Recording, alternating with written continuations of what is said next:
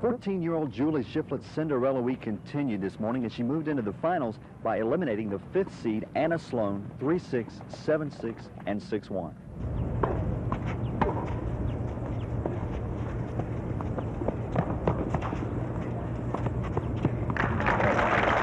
I feel great. I was um, it was a really tough match, and I stuck in there, and it still hasn't sunk, sunk in yet that I won.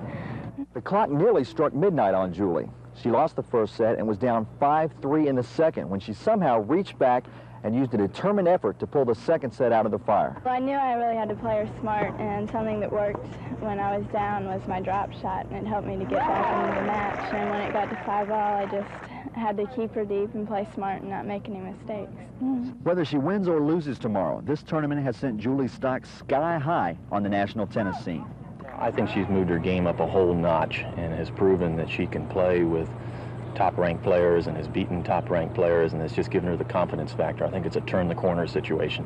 From the Virginia Beach Tennis and Country Club, John Castleberry, TV 10 Sports.